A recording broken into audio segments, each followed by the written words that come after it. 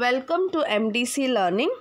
Standard SY BCom Subject FC Chapter Significant Contemporary Rights of Citizen. Topic Public Interest Litigation. In this video, we are going to understand about public interest litigation. Let us first understand the meaning of public interest litigation. Public interest litigation means a legal action okay? वो एक legal action है, वो initiated है by court of law. Okay? कौन initiate करता है? Government court. एक क्यों इनिशिएट है? क्योंकि पब्लिक इंटरेस्ट को सेव करना। ओके? okay? एंड अपना कम्युनिटी में precautionary precautionary interest by which their legal rights और liabilities are affected okay. Litigation is filed in a court of law for the protection of public interest. Public interest ka protection that generally affect a group of person or society at large. Okay. It uh, generally affect the group of person as well as a society at large. Like uh, terrorism child labor corruption poor quality of education and deforestation etc etc public interest का जो भी view uh, है public का view है public का interest है इस इस चीज़ में बात करना है। और इसमें राइट्स है उनको बात करने के ये उनको चाहिए। तो उसके लिए uh, सबके सबके लिए बात करने के लिए ये कोर्ट है। और ये आ, हर एक चीज़ के ऊपर ध्यान देता है, पब्लिक की चीज़ के ऊपर, जिससे उनको ज़्यादा हेल्पफुल हो सकता है पब्लिक को ओके okay? और ये जो पब्लिक इंटरेस्ट लिटिगेशन है, बहुत इंपॉर्टेंट है सोसाइटी में ओके okay? सोसाइटी के लिए एक बहुत बड़ा इंपॉर्टेंट चीज़ है a need for a public interest litigation uh, this is meant for enforcement of fundamental and other legal rights it's a basic legal rights of public जैसे अपने अपना एक rights है we can uh, we have a right to speak we have a right to read we have a right to communicate we have right to talk we have right to educate ये सब particular person का right है public interest litigation particular public का right है okay it's a basic right it's a basic common right इसमें poor section भी आ सकता है वीकर सेक्शन भी आ सकता है रिच सेक्शन भी आ सकता है। इसमें सिर्फ़ और सिर्फ़ प्रॉब्लम्स के ऊपर बात करेंगे। इसमें कोई पुअर नहीं, कोई रिच नहीं। Okay okay?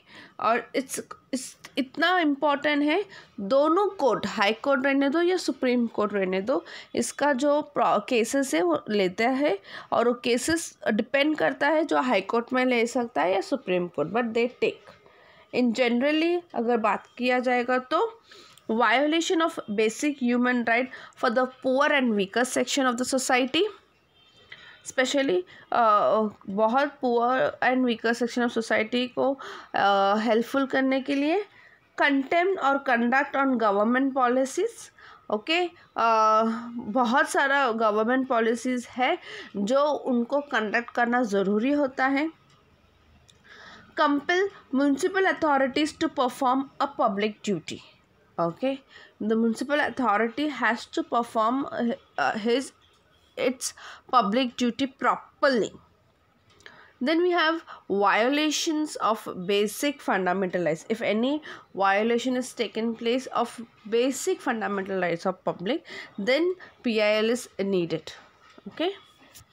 In particular where the factory industrial unit is causing air pollution and people nearly are getting affected where there are no street light or inconvenience to the countries उसके लिए fighting करेंगे। Industrial unit कुछ air pollution create कर रहा है, उसके लिए fighting करना। फिर कंस्ट्रक्शन कंपनीज़ ट्रीज़ को कट डाउन करती है एनवायरनमेंट पोल्यूशन क्रिएट करती है। ये सब चीज़ें जो सोसाइटी में इफ़ेक्ट होता है, उनके लिए फ़ाइट करने के लिए पीआईएल है। और वो पीआईएल कोई और जगह नहीं, वो खुद ही पब्लिक ही जाके काम करेगी।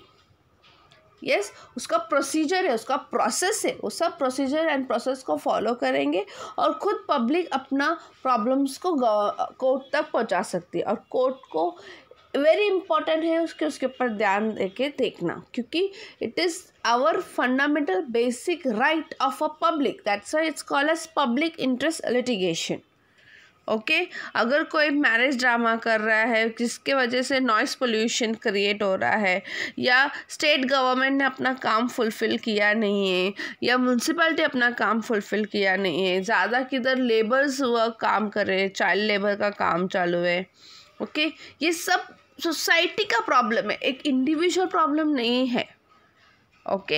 इंडिविजुअल इंडिविजुअल बन के वो एक सोसाइटी हो जाता है और इसके वजह से प्रॉब्लम ज़्यादा क्रिएट होता है। अगर आ, कोई जगह में ऐसा है कि सेक्सुअली हरासमेंट हो रहा है वुमेन का then they will write this P I L case so ऐसा बहुत सारे केसेस है आ, बहुत सारे करप्शन इन्वॉल्व हुआ है पब्लिक ऑफ़िस में। दिखाई दे रहा है इधर बहुत करप्शन हो रहा है।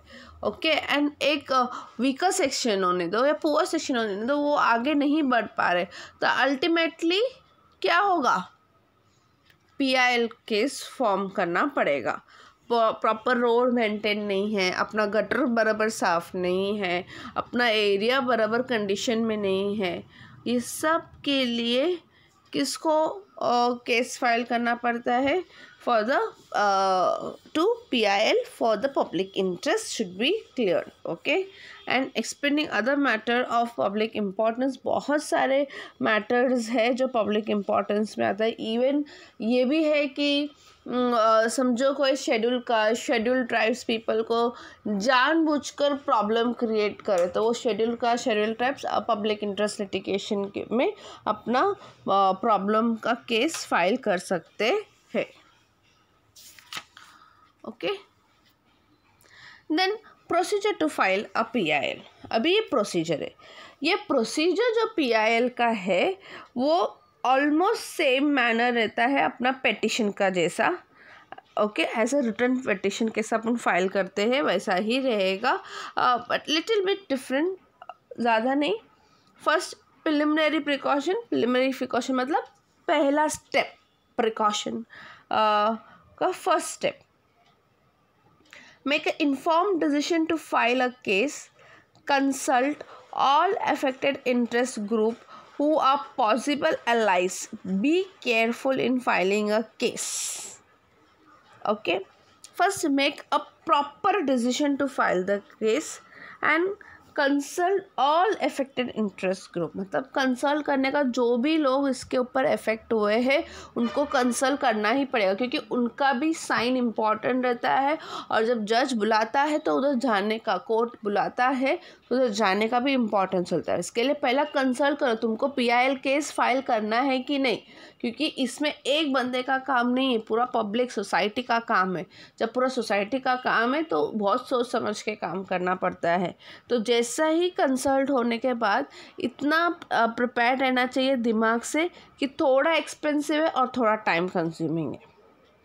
ओके एंड इस क्यों कंसल्ट करना चाहिए? जितना कम्युनिटी स्ट्रेंथ रहेगा, उतना वो केस इफ़ेक्ट रहेगा।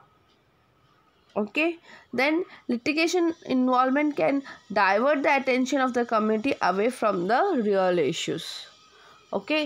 इतना इन्वॉल्वमेंट कभी कभी कोई रॉन्ग वे में हो जाता है कि जो रियल इश्यू है, उसके हट के कुछ और काम करने लगते हैं। That is also wrong thing so be careful consult first कि अपन को पब्लिक इंटरेस्ट लिटिगेशन में फ़ाइल करना है कि नहीं। Then collection of information. Collect all the relevant information all the evidence all things properly gather it properly okay use more xerox copy of that paper सब चीज़ return में रहेगा काफ़ी अच्छा है वो बहुत इजी और एक एविडेंस बन जाता है write to the relevant authorities and be care about your demands okay prepare uh, be very careful about the demands. Maintain records on the organized manner. Properly uh, organize manner में record maintain करो। अपना demand बराबर checkout करो कि relevant uh, authorities के साथ बात किया है कि नहीं। Yes consult a lawyer properly proper एक लॉयर को कंसल्ट करो।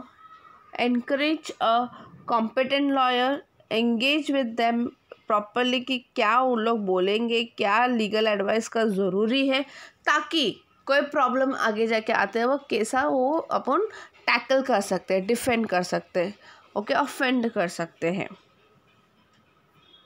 Then we have pre filing legal notice पहला लीगल नोटिस देने से पहला before giving it file a P I L filing a suit against the government would require issuing a notice to a concerned officer. जो officers है, अगर road ख़राब है तो उसका जो ऑफिसर है, उसको कंसर्न लेटर पहले से, दो महीना पहले से देना चाहिए। ओके? दो महीना पहले से उनको डिपार्टमेंट में एक प्रॉपर फाइलिंग होना चाहिए कि दो महीना के बाद ही तुम पी फ़ाइल कर सकते हो, क्योंकि तब तक अगर वो लोग ने कुछ काम नहीं किया रहेगा तो वो काम करेंगे। Okay? Filing both the high court and supreme court has a power to entertain PIL since there is no status or rules that can not be specific differences as which the court will have a jurisdiction on the PIL okay? कोई status नहीं है, कोई rules नहीं है, कोई differences नहीं है। Everybody are equal for the P I because we are fighting for the public interest okay और इधर दोनों भी कोर्ट तुम केस फ़ाइल कर सकते हो। वेदर आपको हाई कोर्ट में करना है सुप्रीम कोर्ट में करना है। डिपेंड उन उसका केस का नेचर कैसा है। Okay okay? और जब वो डिपेंड करता है वो के, आ, केस का नेचर कैसा है वो इन्वॉल्वमेंट भी देखता है कि small group of people been affected okay और big group of people are affected larger section of people are affected PIL can be filed in the Supreme Court for a larger section. Uh, it's central and state and small uh, small people are affected. मतलब small people मतलब कम से come people effect हुए हैं तो वो high court में अपन दर्ज कर सकते हैं ओके okay? अगर हाई कोर्ट में अपना केस फ़ाइल कर रहे हैं तो two copies of petition have to be filed an advance copy of this position has to be serve to each respondent okay okay, पहला सा एक कॉपी दोनों रेस्पोंडेंट दोनों अपोजिट पार्टी के पास रहना बहुत ज़रूरी है हाई कोर्ट में।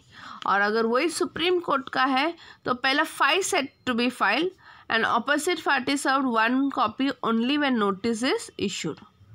Okay opposite party जिसके ऊपर आप लोग केस फ़ाइल कर रहे हो उसको एक ही नोटिस आएगा जो इश्यूड है।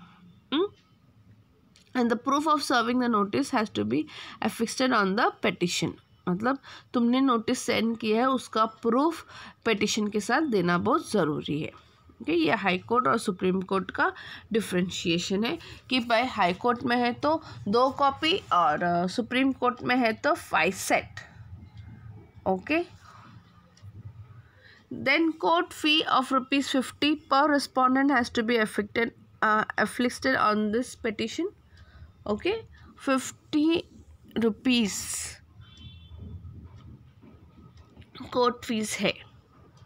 Then we have a proceeding. Proceeding of pil commence and carry on in the same manner. Okay? However in between the proceeding if the judge feels he may appoint a commission to inspect allegations like pollution being caused workers are exploited and by paying low wages for the weaker section are victimized means अगर proceeding time में जज क्या बोलेंगे? एक committee form करो, उस commissioner appoint करो, वो इंस्पेक्ट करेगा कि प्रॉब्लम है ही क्या? क्लियर प्रॉब्लम क्या है? फिर उसके उसके पास जो रिपोर्ट आएगा, वो रिपोर्ट में वीकर सेक्शन को फ़ाइल करना है। वीकर सेक्शन आ विटनेस और नहीं, ये समझ में आ सकता है। मतलब पर इन शॉर्ट अगर जज चाहता है कि कमिश्नर को अपॉइंट करके प्रॉब्लम क्या है बराबर जाने तो वो कर सकते हैं।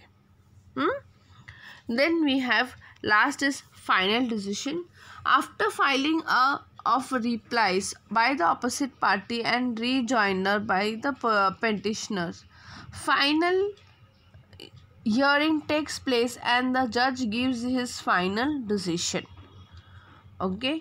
And in this case if it is filed in high court of decision is not acceptable. It either party either party can move to the supreme court and further it can uh, deliberations and decision. Okay so filing final decision जब court hearing के बाद देता है वो high court का decision is not acceptable to the इधर party then इधर party can move to the supreme court अगर हाई कोर्ट में उनका जजमेंट प्रॉपर नहीं आया है तो वो वो कोर्ट वो केस को लेके सुप्रीम कोर्ट तक पहुँच सकते हो। एंड उसमें आपको uh, शायद तक डिसीज़न फाइन फाइनल डिसीज़न मिल सकता है। Okay thank you